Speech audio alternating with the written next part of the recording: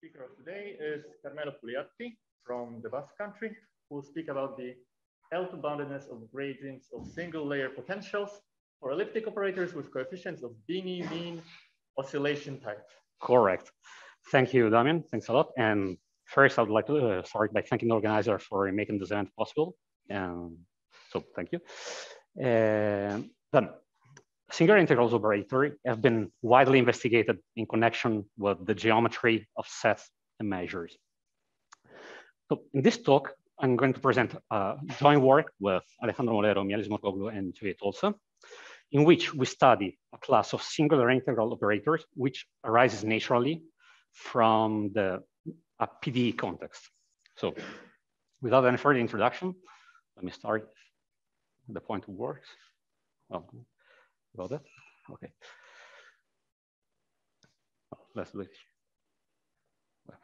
All right, so let K be a Calderon-Zygmund kernel. I'll give more precise definitions later. Think about it uh, for the time being, just think about it as the Riesz transform, if you prefer it. And let mu be a Radon measure on the Euclidean space, which for this talk, I'm going to indicate as Rn plus one. So the prototypical Calderon-Zygmund uh, operator, uh, the prototypical singular integral operator is an operator of the type you, you see displayed here on the slide. That is the integral of k of x and y uh, times f over the measure me. In general, of course, this writing doesn't make sense and it's purely uh, purely formal, at least uh, on the supported measure. Uh, and in order to make sense of this, the one introduces the truncations at the level of a parameter epsilon here, and just ruling the singularity L. So in order to avoid the, to deal with those operators and to avoid the problems of excessive parcial values, which in this measure theoretic setting is not obvious, and it, it can be very hard sometimes. Uh, one can still talk about boundedness, L2 boundedness of this operator, asking that the truncation at the level of epsilon are bounded on L2 uniformly on, uh, on epsilon. And throughout this talk, I will indicate as uh, the L2 L2 norm of T, uh, this supremum. Right. One of the milestones that connected singular integrals to the geometry of measures is the pioneering work of Calderon in 1977, in which he proved that the Cauchy transform is bounded on L2 on Lipschitz graphs with small constant. Uh, this last assumption was eventually removed uh, by Coifman, McIntosh, and Meyer three years later. There's, this result is very important, important because Lipschitz graphs are the building blocks of one of the main subjects of geometric measure theory, that is to say, rectifiable sets, which I'm not going to introduce much, much because they've already been discussed a lot throughout the conference. So the question uh, one uh, could ask is, can we use Cauchy transform or singular integrals in general to study and maybe characterize rectifiability? You see that rectifiability is a qualitative concept, uh, although the L2 boundedness requires quantitative estimates. And this is why uh, David and Semmes introduced the concept of uniform rectifiability.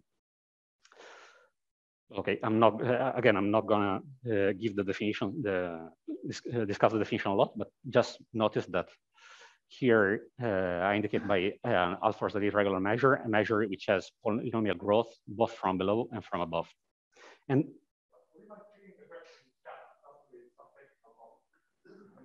yes. Okay, great. Thank you. Thank you a lot.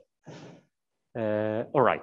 So I will indicate by MD plus the set of positive Radon measures on R m plus one, which for which this uh, right uh, this right relation holds, or namely that they have upper D growth.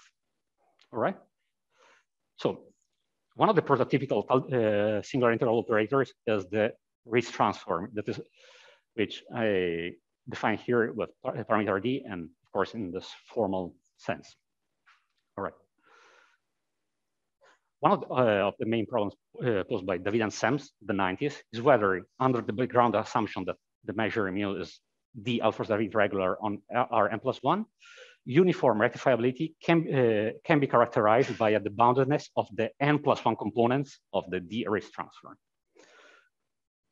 David and Semmes proved that uh, one-way holds, that, uh, namely that the uh, Riesz transform is bounded on uniformly rectifiable sets, on uniformly rectifiable measures in this case. And indeed, they also proved something way more general that I'm not going to discuss here. Uh, the converse question turned out to be more delicate. And it was proved in 1977 by Mattila Melnikov and Verdera via curvature techniques that the Cauchy transform, which corresponds to the, uh, to the Riesz transforming in the, on the plane, uh, if the Cauchy transform is bounded on L2, then the measure is uniformly rectifiable. However, the curvature technique uh, couldn't be extended to the higher uh, dimensional case, and it took uh, almost 20 years to provide uh, for Nazarov, uh, Tolsa, Volberg to provide a proof which works in the codimension one case. This is this case. All right, so uh, Nazarov and Volberg result uh, is very important also in light of the many applications that it had for it, that it had, for example, to the study of harmonic measure. So one can ask whether there is an analogous result which works in the elliptic setting, or whether David and Semmes' problem, at least in codimension one, can be formulated in the elliptic setting. So uh, in this talk, I'm going to, I'm going to consider uh, second or, uh, order PDEs in divergence form associated with uniform elliptic matrices with variable coefficients. Uh, here, uh, I displayed this, the standard def definition of uniform elliptic matrices.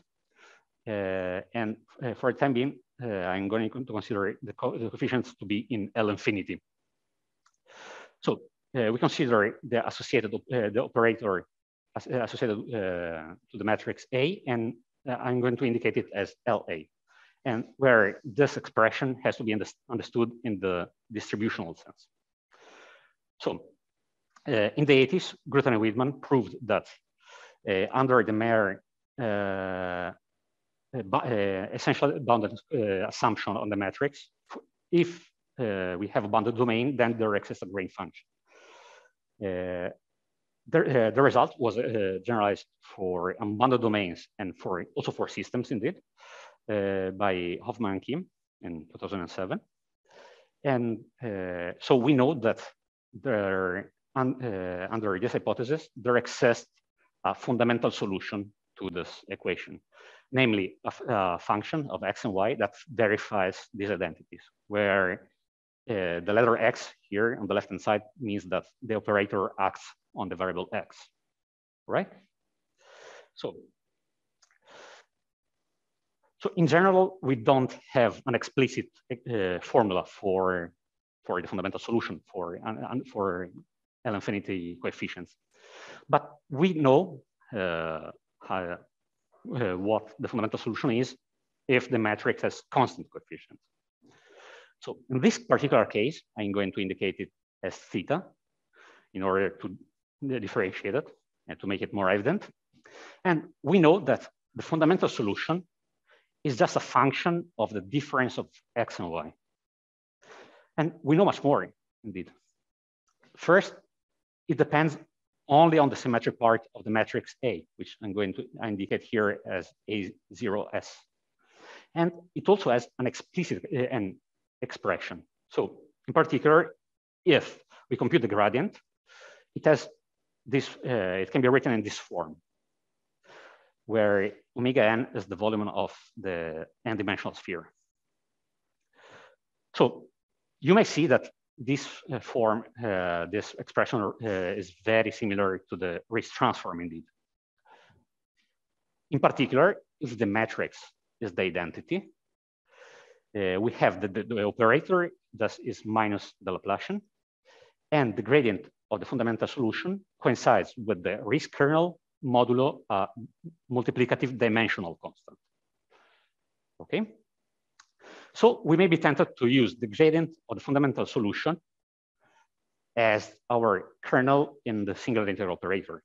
So, and we may attempt to, to write this operator that you see displayed here. This is a well-known operator in PDEs, and it is uh, often referred to as the gradient of the single layer potential. However, if we uh, just assume the coefficients of the matrix A to be in L infinity, it's quite problematic to study this operator from the uh, uh, from the Calderon-Zygmund point of view. Indeed, uh, this the gradient of the fundamental solution in general, it's uh, neither homogeneous nor antisymmetric, and and of course it is not of Calderon-Zygmund type, not even locally. So what we have to do in order to study it from the Calderon-Zygmund point of view is to add more assumption.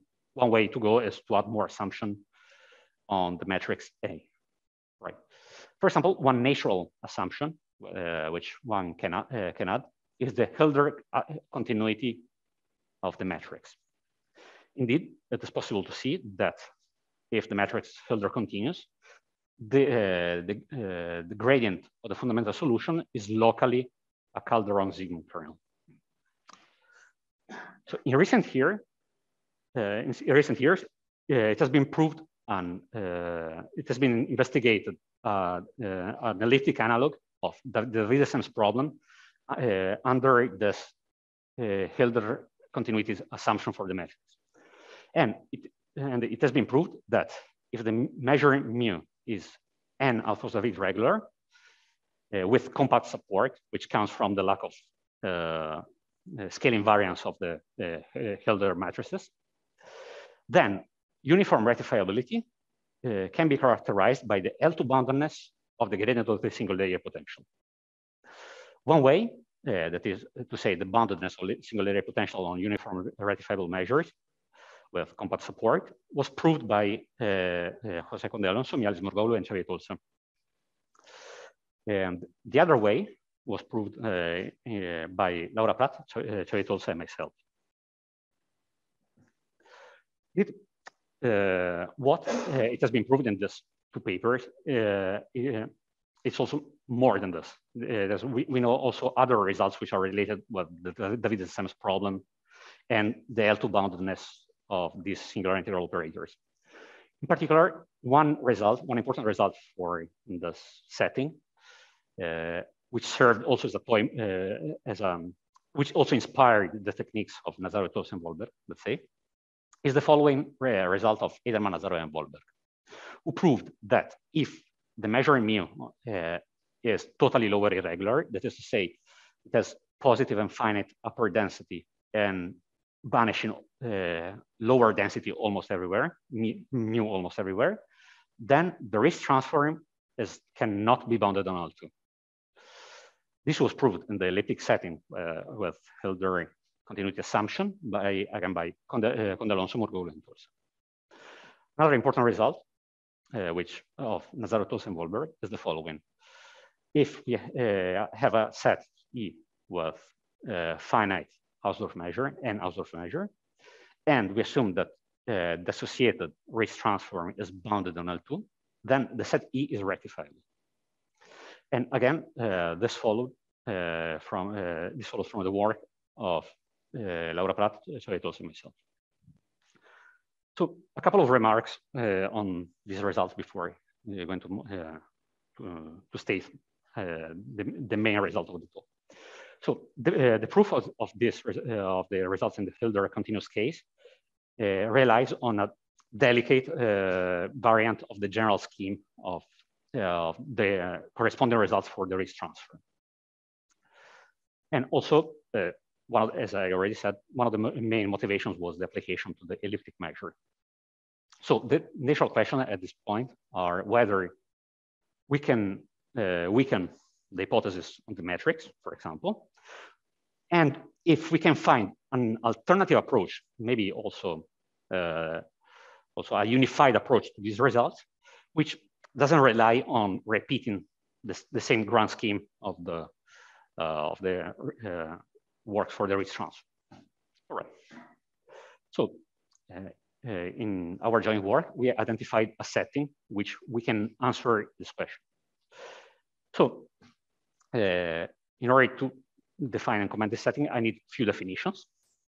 Uh, for this space, which we, uh, is, is related with this Dini mean oscillation condition. So for a point X in Rn plus one and a radius R, we denote by B the ball, and by A bar at XR, the average of the, uh, of the matrix uh, of the, uh, at the level of the ball. And we indicate by omega A this L1 oscillation of the matrix uh, uh, around the average. So we say that the matrix A has Dini mean oscillation if uh, omega A, the oscillation, verifies this Dini assumption, okay? Why, uh, why did we study this? Because uh, in recent years, uh, there has been, uh, few results have been proved for this class of matrices under, of course, the uniformitity assumption.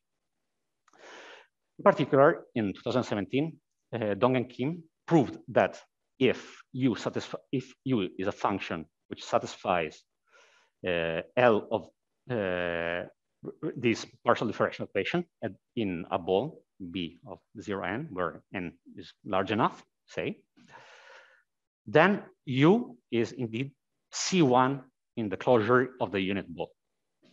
Okay. Indeed, they proved also uh, much more. They also proved estimates for L infinity estimates for the gradients, the gradient on the solution in terms of the L1 norm of the gradient itself. Uh, uh, why is it helpful for us? Because from these estimates, it directly follows that the gradient of the fundamental solution is uh, of Calderon-Zygmund type with this sort of modulus of continuity. Okay? At least at the local level, you see that the locality is evident by the presence of the parameter R. Okay, so I'm ready to, uh, to state the main result of the, of the talk. So uh, assume that uh, mu is a positive Radon measure with n growth on R n plus one and with compact support. We assume that, uh, we further assume that the uniformly elliptic matrix A belong to this uh, modified Dini class. The, uh, that is to say, it satisfies these two assumptions. Observe that the first one is a second Dini assumption, which is also equivalent by Fubini with a log Dini assumption. Uh, and it holds at small scales, let's say. Uh, uh, and also, and the second assumption is is a Dini at large scale assumption, which is also which is necessary, which is necessary for our arguments to work.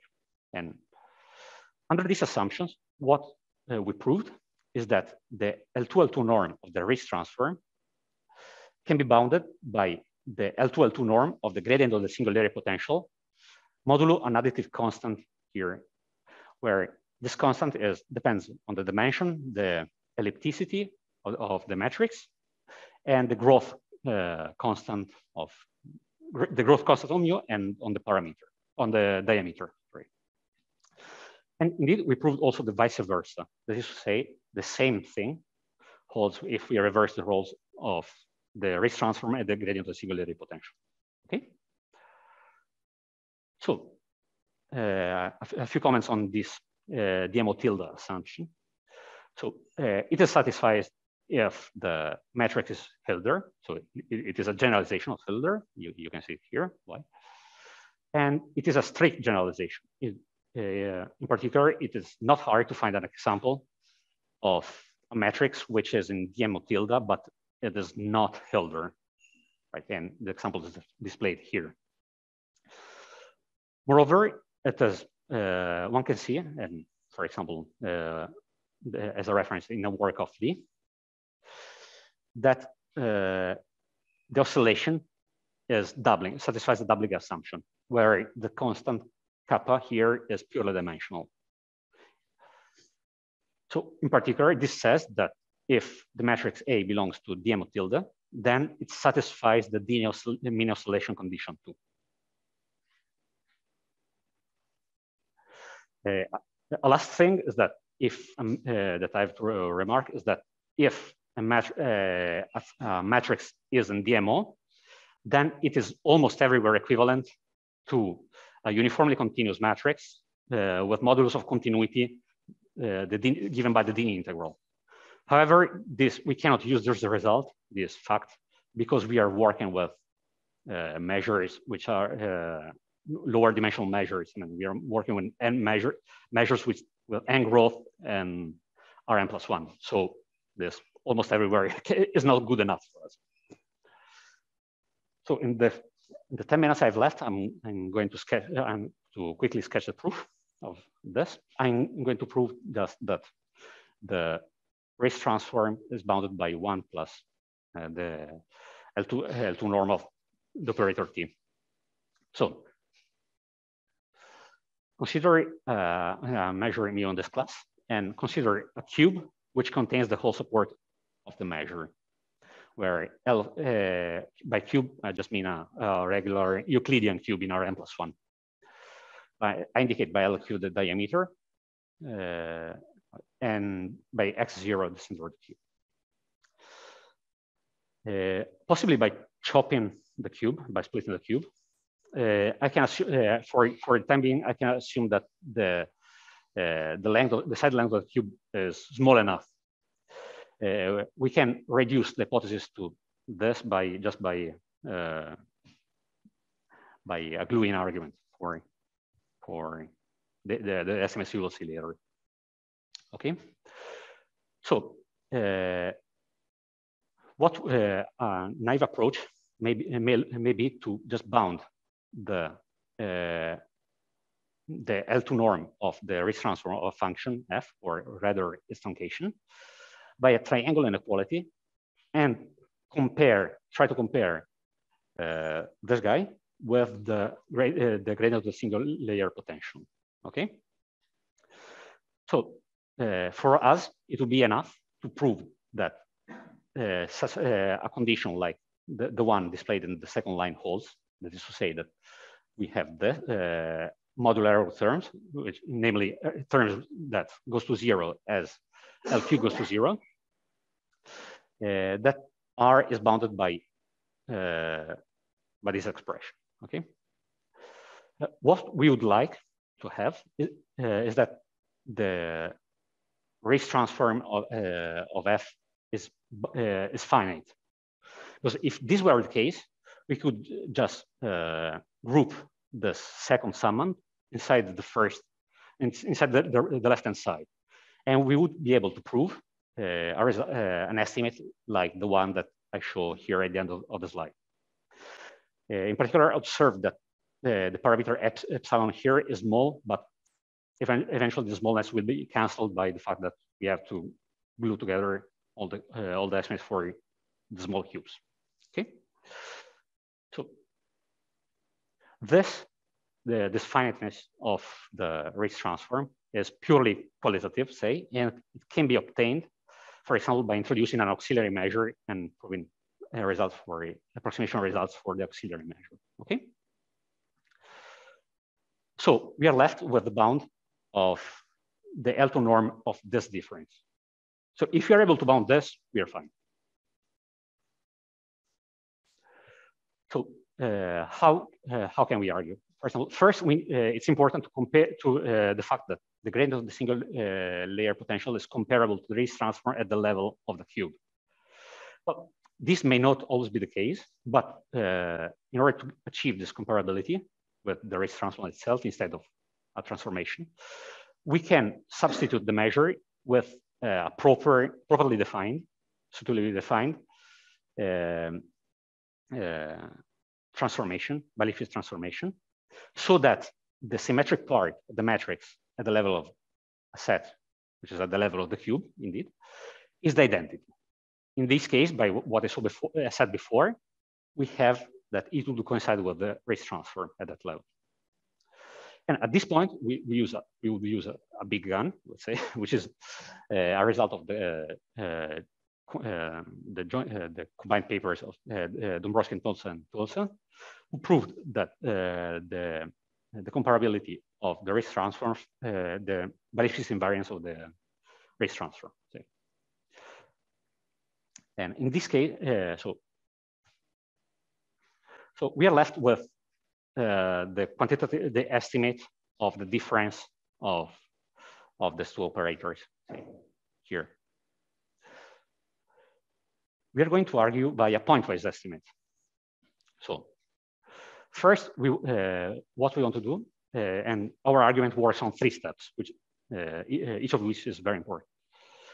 First, we want to compare the gradient of the fundamental solution with uh, the gradient of the fundamental solution associated with an average matrix at the level of the difference of, of, of these two points. And we want this uh, comparability to be in terms of this quantity, which also observed that motivates our DMO tilde assumptions, indeed, which comes from requiring that this, uh, this quantity is integrable, is the So uh, indeed, if we have this, we would have by Schur's test that uh, we can bound the L2 norm, L2, L2 norm of the operator. And also observe that we need this, uh, uh, this uh, the implicit constant here depends on the radius r. Uh, but for uh, what uh, one can prove is that for radius smaller than one, say, this constant is uniform on the on the on radii, which is the case that is interest to us. So uh, how to prove this? I cannot go into the details, but just quickly, uh, we uh, write uh, this representation for, uh, we use the representation formula for the difference, for which I refer to the, the paper of, of my Kim. and, and we have this representation. So we uh, analyze the three, uh, three separate contributions to this integral. That is to say the contribution around x, the contribution around y, and the contribution far away from x and y. Uh, for the estimates of the first one, uh, the first and the second, we just use the oscillation plus some delicate, uh, plus we apply uh, the gradient estimates. And it's quite technical, so I'm not gonna, going to go into the details. And the, observe that the third term is what gives us the uh, necessity of also a condition at small scales, and it, gives us the terms at the small scales. So the second one the, the second uh, step is to remove the, um, is to reduce the case to the level of the truncations. And this uh, need to pass from the average of the matrix uh, of the, uh, at, the, uh, center, uh, at, at the ball center at x and radius x minus comparable to x minus y to a ball at the level of the truncations. And this is important because it takes one variable away from the average and which is going to be fundamental for the third and final step. And this is done just by using the, uh, just by making computations using the explicit uh, formula for the fundamental solutions for constant coefficients matrix. The, so we, uh, we pass from the level of x minus y to the level of the truncations, but in order to achieve the, uh, the full estimate, we have to go back, uh, to go up to the level of, of the cube. So in order to be able to compare it with the Riesz transform. And the way, the way to do it, uh, the way we did it is via the expansions in spherical harmonics. We defined the kernel uh, calligraphic K to this, uh, to be this difference. And after observing that uh, this difference is uh, homogeneous of degrees minus n for every x fixed, you see, I mean, this is just the homogeneity of the fundamental solutions we have that by ellipticity of A, uh, this fu function calligraphic K belongs to L2 of the sphere. So we can expand it in spherical harmonics, uh, which I indicated by uh, phi j, which are uh, uh, whose multiplicity I denote here by nj. And we can write this uh, the kernel in using this expansion. So so in order to deal with these expansions, first we, uh, we need to know the, the precise, uh, we need to know the asymptotics of the cardinality of NG. And then uh, we also can prove that the the, um, the kernel K has, uh, has derivatives that sat satisfies this bound here. Uh, so finally, uh, we use again this uh, this big result of Dąbrowski and Tolsa and Tolsa, uh, which combined with previous uh, work of Hilal Sarion, give that the L2 L2 norm of these auxiliary operators can be bounded by the L2 L2 norm of the Riesz transform, uh, where the multiplicative constant J, uh, J here comes from this from this previous uh, this previous display that I wrote here. Okay. So uh, just the last slide, and in the last slide, I'm, I'm, going to make a couple of comments. So this gives an alternative. The proof that outlined here gives a, uh, uh, also uh, a proof which works in the DMO tilde settings, where uh, the, it's not clear how to replicate the scheme of Nazarov-Tolsa and Volberg, which was replicated in the Hölder setting, because uh, very, uh, it involves a, a, careful reflection argument for the metrics.